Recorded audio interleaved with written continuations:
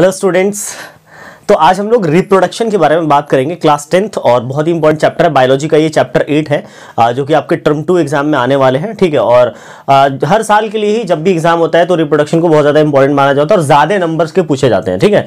तो रिप्रोडक्शन को हमने ना अभी कैटेगराइज किया। आज हम लोग सिर्फ़ और सिर्फ़ ए सेक्शुअल रिप्रोडक्शन की बात करेंगे हम लोग। और बहुत ही अच्छे तरीके से, बहुत कम टाइम में और अच्छे तरीके से डीपली हम इसको, है ना सॉल्व करने की कोशिश करेंगे सारे प्रॉब्लम्स को। जो भी मन में आते हैं, जो भी सवाल आते हैं आपके और उसको हम लोग जो है ना रिकवर करने की कोशिश करेंगे।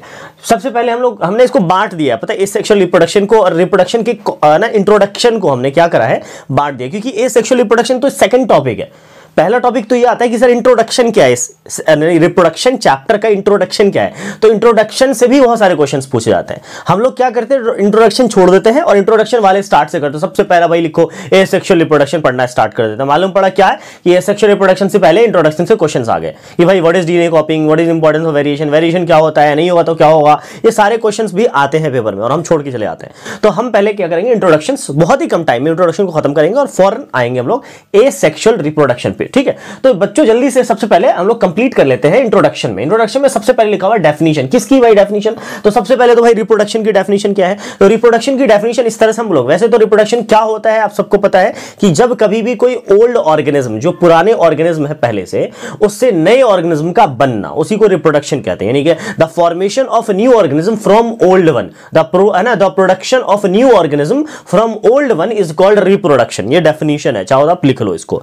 लेकिन इसको समझते हैं। जैसे हम, हमारे माँ बाप है, ठीक है, हमारे फादर और मदर है तो फादर मदर से हम लोग आए तो हम लोग क्या हो गए ऑफ़ स्प्रिंग हो गए। हम लोग उनके, है ना ऑफ़ स्प्रिंग हुए, और ऑफ़ स्प्रिंग का आना पेरेंट्स से ये कहलाता रिप्रोडक्शन भाई रिप्रोडक्शन अगर रुक गया ना, पता है आपको रिप्रोडक्शन ही है एक ऐसी चीज़, एक ऐसा प्रोसेस हमारा लाइफ प्रोसेस जो इस अर्थ की कंसिस्टेंसी को बनाए रखता है। यानी कि इसके एग्जिस्ट करने के पीछे एक यही रीजन है कि रिप्रोडक्शन हो रहा है भाई। तो कोई भी स्पीशीज एक्सटिंक्ट नहीं हो, इसके लिए रिप्रोडक्शन का होना बहुत ज़रूरी है। कोई भी स्पीशीज गायब नहीं हो, कोई भी स्पीशीज पूरी तरह से खत्म ना हो तो इसको बचाए रखने के लिए क्या है रिप्रोडक्शन बहुत ज़्यादा ज़रूरी है। तो इन ह्यूमंस हैं अन प्लांट्स हैं, सब में रिप्रोडक्शन होता है, सब में। इवन छोटे छोटे ऑर्गेनिज्म में भी रिप्रोडक्शन बच्चों होते हैं, ठीक है? और तभी जाकर न्यू इंडिविजुअल्स का, है ना, इसका मैंने कंटिन्यू होता है जनरेशन कंटिन्यू होता है इसी वजह से। अब आप देखो डेफिनेशन डेफिनेशन में आपने देखा रिप्रोडक्शन की डेफिनेशन रिप्रोडक्शन दो तरह के होते हैं ए सेक्सुअल और sexual reproduction asexual reproduction में सिंगल पेरेंट्स इंवॉल्व होंगे और सेक्सुअल रिप्रोडक्शन में दो पेरेंट्स इंवॉल्व होते हैं बच्चों, ठीक है? यानी कि if the single parent involve in the reproduction that is called asexual reproduction if there is two parents are involved in the reproduction, this is called है ना? सेक्सुअल रिप्रोडक्शन अब बच्चों आता है डेफिनेशन हमारा हो गया क्लियर खत्म. डेफिनेशन क्लियर हो गया सर अगर DNA copying sir DNA copying क्या होती है? देखो बच्चों, पता है आपको, जब हम, जैसे फॉर एग्जांपल हम ह्यूमन की बात कर लेते हैं तो ह्यूमन में क्या होगा, जब हमारे में, है ना, जब हमारे फादर और हमारे मदर के जो मेल है ना गैमेट्स होते हैं गैमेट्स या इसको जर्म सेल एक ही बात है दोनों। क्या मतलब होता है? पता है आपको कि जो मदर के अंदर जो फीमेल जो गैमेट्स होते हैं, यानी फीमेल रिप्रोडक्टिव सेल्स होते हैं, और फादर की जो रिप्रोडक्टिव सेल्स होते हैं फादर की और मदर के रिप्रोडक्टिव रिप्रोडक्टिव सेल्स जब आपस में मिलते हैं बच्चों, तभी हमारा फॉर्मेशन होता है, ठीक है ना? और पता है, इन्हीं रिप्रोडक्टिव सेल को ही दूसरे दूसरे नाम से बुलाया जाता है। कभी गैमेट्स कभी, है ना जर्म सेल इसी को। तो आप गैमेट्स और जर्म सेल नाम सुन के घबराओ मत। ये वही है रिप्रोडक्टिव सेल जो आपस में क्या करते हैं फ्यूज होते हैं, नहीं मिलते हैं, और हमारा फॉर्मेशन न्यू ऑर्गेनिज्म का फॉर्मेशन करते हैं, ठीक है बच्चों? तो इसका मतलब ये है कि जब हमारे जो मेल गैमेट यानी हमारे फादर का गैमेट और हमारे मदर का गैमेट क्या होता है? जब आपस में मिलते हैं तो एक नए सेल का फॉर्मेशन आता है बच्चों। एक रिप्रोडक्टिव सेल हमारे हमारे हमारी मदर का और एक रिप्रोडक्टिव सेल्स हमारे फादर का। यानी एक मेल गैमेट एक फीमेल गैमेट और एक मेल गैमेट जब आपस में मिलेंगे तो यहाँ पर एक मिलने से बच्चों इस फ्यूजन से एक नया सेल बनेगा एक न्यू सेल बनेगा। पता है बच्चों जो न्यू सेल बनेगा ना ये जैसे मान लो एक, एक ना ये सेल है और एक ये सेल है। इन दोनों सेल की वजह से ये दोनों सेल आपस में डिवाइड होगा और डिवाइड होकर नए सेल बनाएगा। ये नया सेल जो है ऑफ़ स्प्रिंग का सेल है। मतलब इसी से हम लोग फिर क्या होंगे बड़े होंगे। इन्हें उसके अंदर। तो इस सेल का नाम पता पता बच्चों क्या होता है? सेल जो न्यू सेल का नाम होता है जाइगोट तो जब ये जाइगोट बच्चों बनते हैं इन ओल्ड सेल से तो क्या होता है? इन्हीं के अंदर इस सेल की भी और इस सेल की भी दोनों की प्रॉपर्टीज़ ट्रांसफ़र होती है। दोनों की ट्रेट्स दोनों के फीचर्स ट्रांसफ़र होते हैं। दोनों के गुण इसके अंदर आते हैं। यानी कि फादर के भी और मदर के भी। तो बच्चों, जब फादर और मदर दोनों के गुण, दोनों की प्रॉपर्टीज़ इसके अंदर आएँगी दोनों की प्रॉपर्टीज़ इसके अंदर आएँगी तो ज़ाहिर बात है, लेके कौन आएगा? तो लेके आएगा जीन्स नाम का एक सब्सटेंस होता है genes G E N E S genes जो कि बच्चों डीएनए के अंदर होता है। किसके अंदर? डीएनए का सेगमेंट ही है जीन ठीक है? जीन क्या है आपसे पूछे व्हाट इज़ जीन्स तो जीन्स क्या होते हैं? हेरिडिटरी मटेरियल है, जो कि ट्रेड्स को फीचर्स को ट्रांसफ़र करते हैं from one generation to another generation तो आपको जीन की भी डेफिनेशन मिल गई। तो हर जीन अलग अलग कैरेक्टर लेके आता है हमारे फादर और मदर में से, है ना? यानी कि आइस कलर है ना? हेयर कलर हाइट सबके अलग अलग जीन्स होते हैं। तो बच्चों क्या होते हैं मदर और फादर दोनों के सेल में से जीन्स लेके आते हैं कैरेक्टर को प्रॉपर्टीज़ को लेके आते हैं। इसका मतलब ये कहा जा सकता है कि मदर की कुछ प्रॉपर्टीज़ को कॉपी करके इसके अंदर लाया गया है फादर की कुछ प्रॉपर्टीज़ को कॉपी करके इस सेल के अंदर लाया गया है। तो बच्चों, इस, ये जो कॉपी हो रही है, ये जीन कर रहा है ना, और जीन किसका पार्ट है? डीएनए का। इसका मतलब कॉपी किसकी हो रही है? डीएनए की हो रही है। इसीलिए बच्चों, इस प्रोसेस को, इस प्रोसेस को हम लोग बोल देते हैं प्रॉपर्टीज़ का आना। जीन्स के ज़रिए से जीन्स के ज़रिए से प्रॉपर्टीज़ का ट्रांसफ़र होना इस न्यू सेल में डीएनए के द्वारा, यानी डीएनए के ज़रिए से। तो इसी प्रोसेस को कहते हैं बच्चों डीएनए कॉपिंग आई होप आपको समझ में आ गया होगा। What is DNA copying DNA copying is the transfer of traits है ना? या इज़ द ट्रांसफ़र ऑफ़ है ना फीचर्स और properties from parents to the new cell from parent cells to the new cell by है ना by the help of chemical reaction बच्चों, ये जो ट्रेड्स आ रहे होते हैं, वो किसकी वजह से? एक केमिकल रिएक्शन चल रहा होता है इनके बीच। इसकी वजह से क्या हो रहा है न्यू जो फीचर्स होते हैं, वो हमारे सेल में आ रहे हैं बच्चों, ठीक है? और इसी को हम कहते हैं डीएनए कॉपीइंग यानी डीएनए क्या हो रही है? दोनों में से कॉपी हो रही है उसके अंदर आ रही है। okay? Indicate the the transfer of the traits the transfer of the features and uh, by the process of the chemical reaction and uh, taking place by the genes taking place by the genes and uh, which is present in the dna this is called dna copying. इसको आप चाहो लिख लेना, ठीक है? It is called DNA copying DNA copying clear हो गया बच्चों।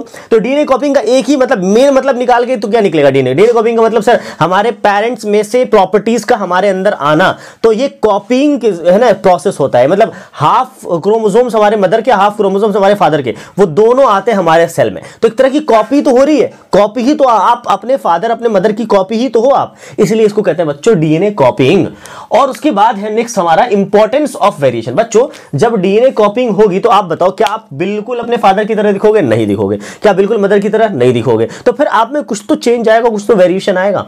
बच्चों, इसी वेरिएशन को हम लोग पढ़ेंगे और इस वेरिएशन का क्या इंपॉर्टेंस है उसको देखेंगे। तो बच्चों वेरिएशन क्या होता है क्लियर हो गया?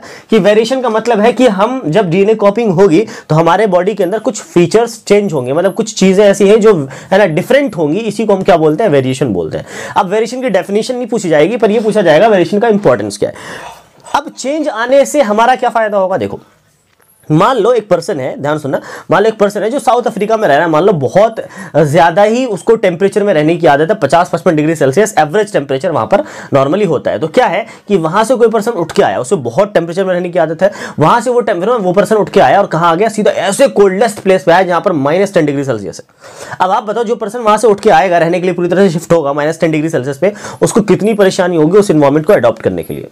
लेकिन बच्चों, अगर वो रहना शुरू कर दे, उसे तो बहुत परेशानी होगी, उसे बहुत ज़्यादा ही डिफिकल्टीज का सामना करना पड़ेगा। लेकिन अगर उसके उसके दूसरा, उसका एक जनरेशन और आया, उसका एक और जनरेशन आया, ऐसे जनरेशन आता है तो अगर उसका सातवां, आठवां जनरेशन आ जाए उसी जगह पर तो क्या उसके सातवें, आठवें जनरेशन को कोई दिक्कत होगी उस इन्वायरमेंट में वो उस चीज़ के, है ना है ना, बिल्कुल यूज़ टू हो जाएँगे।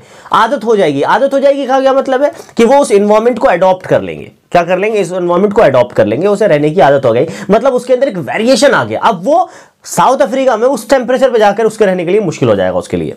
तो मतलब फ़र्स्ट और लास्ट जनरेशन जो सातवां, आठवां जनरेशन बच्चों, उसके लिए बहुत ज़्यादा, उसमें बहुत ज़्यादा डिफरेंस आ जाएगा। तो वेरिएशन से क्या फ़ायदा हुआ कि हम चीज़ों को अडॉप्ट करने लगे? हम ना, हमारे वेरिएशन के क्या हुआ कि हम सर्वाइव करने के लायक हो गए। हम सर्वाइव अगर वेरिएशन नहीं आता हमें तो हम अपने पेरेंट्स की तरह ही अगर होते तो चाहे पचासवां जनरेशन क्यों नहीं होता? हमें तब भी रहने की आदत होती? है ना, पचपन डिग्री सेल्सियस पे। अगर वेरिएशन आया तो क्या हुआ? हम माइनस टेन पे भी आराम से रह रह सकते हैं, कोई दिक्कत ऐसा नहीं है। तो वेरिएशन क्या करता है? सर्वाइवल है ना चांसेस बढ़ा देते हैं। किस चीज़ के? सर्वाइवल के चांसेस बढ़ा देते हैं। तो बच्चों इंपॉर्टेंस क्या है वेरिएशन का? It increase the chances of survival it increase the chances of survival survive करने के चांसेस को क्या करते हैं? बढ़ा देते हैं बच्चों। So this is the importance of variation अब एक एग्जांपल में आप ये चीज़ एग्जांपल भी लिख सकते हो, ये लाइन लिख करके कि it increase the chances of survival of any organism उसके बाद एक एग्जांपल दे दो तो ये आ जाएगा इंपॉर्टेंस ऑफ़ वेरिएशन नेक्स्ट हमारा टाइप ऑफ़ सेक्सुअल रिप्रोडक्शन जो कि बच्चों, यहाँ पर एक लिस्ट बनी हुई है टाइप ऑफ़ सेक्सुअल रिप्रोडक्शन में। फिजन फ्रेगमेंटेशन रीजनरेशन बडिंग है ना वेजिटेटिव रिप्रोडक्शन स्पोर फॉर्मेशन बच्चों, इसमें क्या है कि जो सबसे पहला है फिजन हमारा। फिजन का क्या मतलब? फिजन का मतलब होता है बच्चों, टूटना। है ना ब्रेक होना, टूट जाना। फिजन बच्चों, दो, वैसे तो ये यूनिसेलर ऑर्गेनिज्म किसमें होता है बच्चों? यूनिसेलर ऑर्गेनिज्म होते हैं। और फिजन दो तरह के होते हैं। फिजन कितने तरह के होते हैं? फिजन दो तरह के होते हैं। फिजन दो तरह के। एक होता है बाइनरी एक होता है बाइनरी एक होता है मल्टीपल बच्चों बाइनरी और मल्टीपल में क्या फ़र्क है? बाइनरी मतलब दो पार्ट में डिवाइड होंगे यहाँ पर ऑर्गेनिज्म और मल्टीपल में बच्चों यहाँ पर, है ना, दो से ज़्यादा पार्ट में मोर पार्ट है two more than two parts में डिवाइड होंगे मोर देन टू पार्ट्स में डिवाइड होंगे बच्चों। बाइनरी का एग्ज़ाम्पल है बाइनरी का एग्ज़ाम्पल है बच्चों अमीबा कौन है? अमीबा तो अमीबा की बॉडी मान लेते हैं अमीबा की बॉडी है और ये दो पार्ट में डिवाइड हो जाएँगे। अमीबा की बॉडी यहाँ पर नहीं, मैं यहाँ बना रहा हूँ, ठीक है अमीबा की मान लो, ये अमीबा की बॉडी है जो कि अनिवन शेप होता है, ये दो, ये एक ही सेल का बना होता है। तो जैसे ही एक सेल का बना है, अपने अपने सेल को क्या करेंगे? अपने सेल को डिवाइड कर लेंगे तो ये दो अमीबा बन जाएगा यहाँ से यानी अमीबा बढ़ करके यहाँ से फॉर्मेशन हो गया दो अमीबा का। तो बच्चों, इस प्रोसेस को कहते हैं बाइनरी फिजन फिजन मतलब ब्रेक हो जाना, टूट जाना।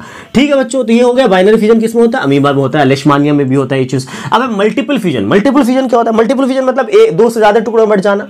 ये किसमें होता है? ये होता है प्लाज्मोडियम में, है ना? ये किसमें होता है? प्लाज्मोडियम में। प्लाज्मोडियम एक प्लाज्मोडियम अपने आपको दो, चार, है ना मल्टीप्लाई करता रहता है और बहुत सारे प्लाज्मोडियम बना लेता है। इसको बोलते हैं मल्टीपल फिजन प्लाज्मोडियम और यीस्ट में ये बच्चों बहुत ज़्यादा होता है, देखने को मिलता है। ठीक है नेक्स्ट हमारे फिजन हो गया और नेक्स्ट हमारा फ्रेगमेंटेशन ये तो यूनिसेलर में होता है, लेकिन अब जो तो होंगे, वो मल्टी सेलर में होंगे।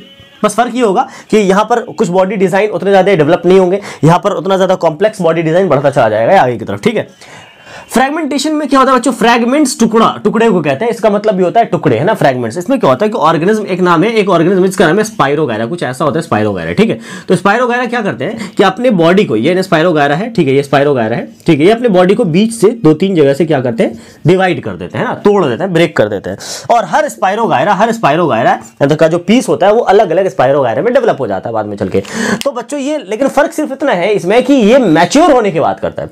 जब ये स्पाइरोगायरा बड़ा हो जाएगा बूढ़ा जाएगा अपने वाला में अगर हम अपने वर्ड में गए तो। तो स्पायरो जब बिल्कुल मैच्योर हो जाता है तो अपनी बॉडी को डिवाइड कर लेता है और हर डिवाइड यानी हर डिवीज़न हर पीस इसका हर टुकड़ा, इसका हर फ्रेगमेंट इसका क्या करता है? एक न्यू इंडिविजुअल में ग्रो कर जाता है। इसी को कहते हैं हम लोग फ्रेगमेंटेशन ये आपको याद भी रह जाएगा। इसका एग्ज़ाम्पल क्या लेना है? स्पायरो गायरा क्या नाम क्या एग्ज़ाम्पल लेना बच्चों? स्पायरो गायरा ठीक है? चलिए तो फ्रेगमेंटेशन किसमें हो रहा है? स्पाइरोगायरा में हो रहा है, ठीक है सर ओके उसके बाद है रीजनरेशन इसका क्या मतलब है सर? री अच्छा फ्रेगमेंटेशन का एक और एक और एग्जांपल याद रखना है आपको हाइड्रा क्या याद रखना है? स्पाइरोगायरा एंड हाइड्रा नेक्स्ट है हमारा रीजनरेशन नाम ही है रीजनरेट होना, दोबारा से जनरेट हो जाना. मतलब मान लो एक ऑर्गेनिज्म है, एक ऑर्गेनिज्म है, उसका एग्ज़ाम्पल आपके एनसीआरटी में दिया गया है यह है प्लेनेरिया ये क्या है बच्चों? प्लेनेरिया है. तो प्लेनेरिया जब यहाँ से क्या होगा? जैसे प्लेनेरिया देखो ध्यान से, ये प्लेनेरिया हमारा, ठीक है. और जब प्लेनेरिया बड़ा क्यूट सा दिखता है जब प्लेनेरिया मान लो यहाँ से कट जाए, यहाँ से कट जाए, यहाँ से कट जाए। तो देखो प्लेनेट का ये वाला पार्ट अलग हो जाएगा, ये वाला पार्ट अलग हो जाए, ये वाला पार्ट अलग हो जाएगा। पता है क्या होगा? ये ये वाला जो पार्ट है, ऊपर वाला पार्ट ये जो भी जो भी पार्ट अलग हुआ है बच्चों, वो वापस से एक न्यू प्लेनेरिया बना लेगा, वापस से एक न्यू प्लेनेरिया बना लेगा। ये भी ये भी न्यू प्लेनेरिया ये वाला भी, है ना? पूछ वाला भी, इसका पूछ वाला पार्ट है, ये ऐसे रहेगा और ये न्यू प्लेनेरिया बना लेगा बच्चों यहाँ से। ये न्यू प्लेनेरिया बना लेगा इस तरह से। तो कहने का ये मतलब है, ये वाला, बीच वाला बना मतलब अपने कटिंग पार्ट को ये जनरेट कर रहा है। हेड पार्ट है कट गया था तो हेड पार्ट था, उसके बाचे बचे हुए पार्ट को क्या कर रहे जनरेट कर लिया। इसी कहते हैं, इसी को कहते हैं हम लोग बच्चों रीजनरेशन ये किसमें होता है? प्लेन एरिया में होता है। किसमें होता है? प्लेन ये डायग्राम दे रखा है आपको एनसीआरटी में। प्लेन एरिया में होता है बच्चों, ठीक है? तो ये है प्लेन एरिया इसके किसके अंदर होता है? रीजनरेशन में किसके अंदर होता है? प्लेन एरिया के अंदर होता है। नेक्स्ट हमारा बच्चों बडिंग बडिंग क्या होता है? बडिंग एक प्रोसेस है जो किसमें होता है? हाइड्रा में होता है बच्चों। बडिंग मतलब उसके बॉडी में बर्ड्स निकल जाते हैं। बर्ड्स क्या होता है? बर्ड एक आउटग्रोथ होता है बॉडी के अंदर। आपने आलू में देखा होगा छोटे छोटे बर्ड्स निकल जाते हैं, उसको आउटग्रोथ बोलते हैं। क्या होता है उसके अंदर? कि वो मल्टीपल है ना, या उसको रिपीटेड सेल डिवीज़न की वजह से आउटग्रोथ निकलते हैं। ठीक है, मान लो कि ये हाइड्रा है, ये कुछ इस तरह से हाइड्रा का स्ट्रक्चर बना रहा हूँ हाइड्रा का स्ट्रक्चर ठीक है, ये हाइड्रा है, इस तरह से हाइड्रा होता है, ठीक है, इस तरह से हाइड्रा होता है। तो हाइड्रा के बॉडी पार्ट में क्या होता है, यहाँ पर एक बर्ड निकल जाता है छोटा सा। इस तरह से बर्ड निकलता है। ये बर्ड क्या है? ये रिपीट इसके बॉडी में ही रिपीटेड सेल डिवीज़न से क्या होता है, ये बर्ड निकलता है। सेल डिवीज़न से। तो बर्ड क्या होता है? It is outgrowth in the body है ना? अगर मैं after the repeated cell formed after the repeated cell division ये लिख लो आप इस चीज़ को ठीक है? तो बड होता है। अब ये बड क्या होगा? ग्रो होगा और बड़ा होगा। जब ये बड बड़ा होगा तो बड़ा होते होते होते होते अपने साइज़ को इतना ज़्यादा बड़ा कर लेगा कि ये वाला जो पार्ट है, बहुत लूज पड़ जाता है, जिस वजह से क्या होगा, ये डिटैच हो जाएगा। ऐसा नहीं, थोड़ा सा, है ना, ऐसा होता है। और ये क्या हो डिटैच डिटैच हो गया हाइड्रा नीचे चला जाएगा ज़मीन पर, फिर से दूसरा हाइड्रा बनाना स्टार्ट हो जाएगा यहाँ से। तो हाइड्रा हाइड्रा में क्या हो बच्चों? बड निकला। और बड बड क्या हो बड़ा हुआ, बड़ा होने के बाद डिटैच हो गया अपने पेरेंट बॉडी से। पेरेंट बॉडी से डिटैच हो गया न्यू हाइड्रा बन गया। इसी प्रोसेस को हम लोग क्या बोलते हैं? बडिंग बोलते हैं। तो बडिंग में तीन बातें बोलनी आपको बडिंग किसमें होता है? हाइड्रा में। बड बड क्या होता है? बता दो। फिर बडिंग में प्रोसेस क्या चलता है? तो भाई बड बड़े होते हैं, बड़े होने के बाद डिटैच होते हैं पेरेंट बॉडी से न्यू हाइड्रा बना लेते हैं। ये जनरली बच्चों किसके, किसका पार्ट है? बडिंग का पार्ट। हो गया बडिंग समझ में आ गया आपको। ठीक है नेक्स्ट हमारा वेजिटेटिव प्रोपैगेशन वेजिटेटिव प्रोपैगेशन ठीक है एक तरह का समझ लो आपका ना क्रैश कोर्स है। क्योंकि टाइम हमारे पास कम है टर्म टू एग्ज़ाम में सिलेबस बहुत ज़्यादा है। तो एक तरह का क्रैश कोर्स समझ लो। और उसको हम लोग बहुत जल्दी रिकवर करने की कोशिश करेंगे जितना जल्दी हो सके। हम आपका सिलेबस जो है वो कंप्लीट करवाएँगे इसमें, ठीक है? नेक्स्ट अगर आप हमारा साथ दो, ठीक है? नेक्स्ट हमारा वेजिटेटिव प्रोपैगेशन देखो बच्चों वेजिटेटिव प्रोपैगेशन क्या होता है? नाम ये वेजिटेटिव मतलब वेजिटेबल से रिलेटेड है। Vegetative parts of plant plant के वेजिटेटिव पार्ट से अगर रिप्रोडक्शन हो रहा है तो इसको बोलते हैं वेजिटेटिव प्रोपैगेशन प्लांट का वेजिटेटिव पार्ट कौन होता है? तो प्लांट का वेजिटेटिव पार्ट रूट हो गया लीव्स हो गया ना? ब्रांचेस हो गए ना? स्टेम्स हो गए, सब वेजिटेटिव पार्ट्स अगर उससे रिप्रोडक्शन हो रहा है तो हम कहते हैं ये वेजिटेटिव प्रोपैगेशन का प्रोसेस है। तो प्रोपेगेशन वेजिटेटिव प्रोपेगेशन की डेफिनेशन क्या होगी? The reproduction the reproduction of the है ना in the new in the plant by the vegetative parts of the plants is called है ना वेजिटेटिव प्रोपेगेशन वेजिटेटिव प्रोपेगेशन बच्चों दो तरह का एक नेचुरल होता है, एक आर्टिफिशियल होता है। तो नेचुरल तो नेचुरल बस इसमें होता है ब्रायोफाइलम में, उसके लीव्स में से नए नए प्लांट निकल जाते हैं, उसी को हम नेचुरल वेजिटेटिव प्रोपेगेशन बोलेंगे। ब्रायोफाइलम याद रखना है नेचुरल में अगर पूछा जाए तो ब्रायोफाइलम अब है artificial artificial vegetative propagation artificial में तीन तरह होते हैं बच्चों। कितने तरह के होते हैं? तीन तरह के। तीन में कौन कौन होता है? एक होता है लेयरिंग एक होता है कटिंग यहाँ पर लिख देता हूँ मैं कटिंग लेयरिंग और ग्राफ्टिंग कटिंग लेयरिंग और ग्राफ ये नाम याद रखना। कटिंग का मतलब किसी पेड़ के ब्रांच को काट के, अगर गुलाब का पौधा उसका काट, उसको, उसके ब्रांच को काट को, काट के लगा दो आप। तो जैसे कट करके आप लगाओगे, उसके एक एक ब्रांच को तो वो दोबारा से दूसरा जो रोज प्लांट वो से वहाँ से निकल जाएगा। तो जनरली कटिंग एक प्रोसेस है, जो क्या हो रहा है, जिसमें सीड की ज़रूरत नहीं पड़ती। बिना सीड वाले, ना सीड ना भी हो रहा तो भी हम इस प्लांट को लगा सकते हैं। तो वेजिटेटिव प्रोपोगेशन से ये फ़ायदा होता है कि हम काट के सिर्फ़ लगा दें तो हो जाएगा न्यू प्लांट हो जाएगा। लेयरिंग में क्या है बच्चों? मान लो कि एक ब्रांच है, एक पेड़ है, जिसमें बहुत सारे बड़े बड़े ब्रांच है। तो ब्रांच क्या है? बहुत ज़्यादा बड़ा है। इसको थोड़ा नीचे करो और नीचे करके, इस ब्रांच को थोड़ा नीचे करके नीचे झुका के इसमें मिट्टी डाल दो। जैसे मिट्टी डालोगे तो ये दब जाएगा मिट्टी के अंदर। और ये ये वाला जो पार्ट है, ये वाला पार्ट, इसमें न्यू लीव्स निकलने स्टार्ट हो जाएँगे और इसका एक अपना रूट बन जाएगा। इस तरह से नया प्लांट बन जाएगा बच्चों। ये है लेयरिंग प्रोसेस ये क्या है लेयरिंग प्रोसेस बच्चों? ठीक है। ये ज़्यादातर जो है लेमन ट्री में होता है। लेमन ट्री में लेयरिंग प्रोसेस बहुत ज़्यादा काम करता है। नेक्स्ट है ग्राफ्टिंग ग्राफ्टिंग का मतलब एक पेड़ है आपके पास, वो पेड़। जैसे मान लो ये पेड़ है। ये पेड़ आप बड़ा हो गया और ये फल नहीं दे रहा। बहुत दिन हो गए, साल हो गए, दो साल हो गए, चार साल फल नहीं दे रहा। आप क्या करो इसको बीच से काट दो। जैसे आप बीच से इसको काटोगे जैसे मान लो ये काट है ना, बीच से इसको काट दिया तो कुछ ऐसा सेक्शन मिलेगा आपको। सेक्शन मिला तो उसको बीच से और ऐसे ऐसे भी काटो इस ना? एक वर्टिकल सेक्शन में भी काटो। जब काटोगे तो कुछ ऐसा सेक्शन मिलेगा आपको। और आपको नर्सरी से क्या करना है? पौधा खरीद के लाना और उस पौधे को इसमें डाल दो। और डाल के इसको बाँध दो चारों तरफ़ रस्सी से, है ना? वो पौधा इसमें लगा दिया अपने, नया पौधा लगा दिया इसके अंदर ऊपर अपना। रस्सी से बाँध दो और मिट्टी विट्टी लगा दो यहाँ पे।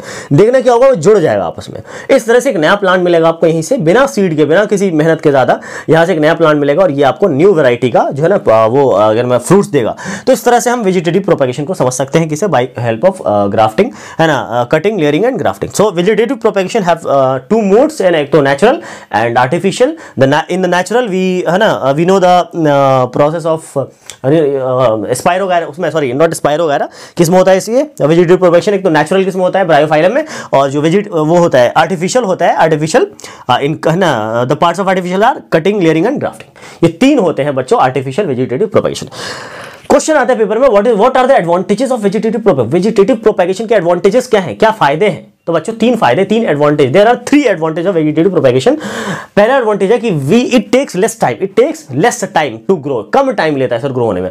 दूसरा क्या है? है ना, कि it it take it gives us the different varieties of plant it gives us the different varieties of plant तीसरा क्या होता है बच्चों? तीसरा होता है कि इसमें ना पता है क्या होता है? विदाउट सीड वी कैन है ना we can grow any plant without seed we can grow grow any plant by this process by this process और चौथा होता है this it is economically beneficial economically beneficial economically beneficial होता है बच्चों, है ना? क्योंकि बहुत जल्द ग्रो कर जाएँगे तो पैसे आप फ्रूट्स हो ना फ्रूट्स हो गए और फ्रूट्स को बेचोगे, पैसे मिलेंगे आपको। या आप नर्सरी खोल लो अपना, है ना, इस प्रोसेस से। तो कहने का मतलब इकोनॉमिकली बेनिफिशियल है। तो ये इसके चार फ़ायदे हैं, चार फ़ायदे आपको लिख के आना एडवांटेज ऑफ़ वेजिटेटिव प्रोपेगेशन को लिख लो रिपीट कर करके रोक रोक के लिख लो इस चीज़ को वीडियो को। नेक्स्ट लास्ट है हमारा बच्चों स्पोर फॉर्मेशन क्या होता है स्पोर फॉर्मेशन स्पोर फॉर्मेशन बच्चों राइजोपस में होता है। ब्रेड के ऊपर आपने देखोगे जब ब्रेड खराब होता है, आपका तो ऊपर से क्या होता है? ब्रेड मोल्ड जम जाते हैं। इसको हम राइजोपस कहते हैं। ये ब्रेड के ऊपर जब खराब होता है तो ये राइजोपस क्या करते हैं? कुछ अपना इस तरह का स्ट्रक्चर होता है राइजोपस का। मैं यहाँ बनाता हूँ। राइजोपस का इस तरह का स्ट्रक्चर होता है बच्चों। स्ट्रक्चर उसके ऊपर बल्ब लाइक स्ट्रक्चर होता है सब। ये राइजोपस है। पता है क्या? ये जो स्ट्रक्चर है बल्ब लाइक स्ट्रक्चर बच्चों, इसको कहते हैं हम लोग, हिंदी में इसको फफूंद कहते हैं इस स्ट्रक्चर को। पर इसको हम बोलेंगे क्या? स्पोरेंजिया क्या है ये? स्पोरेंजिया ऊपर में कवरिंग है ना? थिक कवरिंग होती है स्पोरेंजिया और इसके अंदर छोटे छोटे ग्रेन्स टाइप भरे होते हैं बताओ बच्चों। इसको जूम इन करके देखना पड़ता है। ये जूम इन स्ट्रक्चर है। तो इसके अंदर ग्रेन्स टाइप भरे होते हैं। इसको बोलते हैं ना पॉलिन ग्रेन और पॉलिन ग्रेन ना बोल के इसको हम इसको ऐसे बोल दो स्पोर्स बोल दो। क्या बोल दो स्पोर्स पॉलीग्रेन तो उसको फ्लावर बोलते हैं। स्पोर्स बोलते दो। ये क्या स्पोरेंजिया है और ये क्या इसके अंदर क्या भरे हुए स्पोर्स भरे हुए हैं। तो बच्चों, क्या होगा कि स्पोरेंजिया इसको कवर करके स्पोर्स को ना कवर करके रखेगा प्रोटेक्ट करके, बचा के रखेगा। जब ये बिल्कुल बहुत ज़्यादा इफ़ेक्टिव हो जाएगा तो जब एक सर्टेन इन्वायरमेंट में क्या करेगा, ये इसको तोड़ देगा। स्पोरेंजिया अपने आप को तोड़ेगा और सारे स्पोर्स यहाँ से क्या होंगे? बाहर निकलेंगे और न्यू राइजोपस बना लेंगे। तब तक क्या करेगा? स्पोरेंजिया इसको कवर करके प्रोटेक्ट करके रखेगा बच्चों। इसलिए पूछा भी जाता है कि स्पोरेंजिया के क्या काम है यहाँ पर? या स्पोर फॉर्मेशन ज़्यादा बेटर क्यों माना जाता है इनसे? क्योंकि स्पोर फॉर्मेशन में स्पोरेंजिया जो है, वो थिक कविंग है थिक कोटिंग है, जो स्पोर्स को प्रोटेक्ट करके रखता है। अनइवन कंडीशन से. It protect the spores from uneven condition और अनइवन इन्वायरमेंट है ना? लाइक विंड स्पीड है ना? हेवी रेन्स तो इससे बचा लेता है है ना? That is why we can say that the spore formation is much better than other है ना? Modes of the sexual reproduction तो ये क्वेश्चन पेपर में आते हैं सीआरटी में भी क्वेश्चन लिखा हुआ है, ठीक है? तो आप उसको देख लीजिएगा। इस तरह से आपका ए सेक्सुअल रिप्रोडक्शन वाला जो पार्ट है, बच्चों वो खत्म हो चुका है और अगर क्वेश्चन आपके मन में आ रहे हैं, आपके मन में अभी डाउट है कुछ तो प्लीज़ कमेंट सेक्शन में खुला हुआ है हमारा कमेंट बॉक्स उसमें आप कमेंट करके मुझे बता दीजिए। मैं नेक्स्ट वीडियो में आपको सारे डाउट्स क्लियर कर दूँगा या फिर इससे रिलेटेड क्वेश्चन में बना दूँगा एक वीडियो जिसमें आपके डाउट्स ही डाउट्स होंगे उसी वीडियो में। या फिर लाइव आकर के जैसे भी होगा आपको डाउट्स क्लियर करने की पूरी कोशिश करेंगे, लेकिन हम, जो मेरी बस एक ही रिक्वेस्ट है कि आप जो है मेहनत से पढ़ाई कीजिए, और अगर आप हमारे चैनल पर नए हैं, पहली बार देख रहे हैं तो हमारी फैमिली का हिस्सा बनेंगे। आप लाल वाला जो बटन है सब्सक्राइब से दबा दीजिए, और अगर ये वीडियो अच्छी लगी हो तो लाइक कर देना, ज़ाहिर सी बात है। और बेल आइकन प्रेस कर देना ताकि नोटिफिकेशन आपके पास आता रहेगा। और अगर आप मेरी प्रीवियस वीडियोस देखना चाहते हैं तो हमारे चैनल पे, हमारे प्लेलिस्ट पे जाकर के आप देख सकते हैं। या इसी वीडियो इसी के डिस्क्रिप्शन बॉक्स में बहुत सारे लिंक्स मैंने दे रखे हैं। जिस लिंक पर आपको चैप्टर्स मिल जाएँगे, और भी चैप्टर्स टर्म टू के। Term two term two science से रिलेटेड ठीक है? क्लास टेंथ के। मिलते हैं नेक्स्ट वीडियो में, तब तक के लिए थैंक यू सो मच और अगर एग्ज़ाम चल रहे हैं आपके, उसके लिए best of luck thank you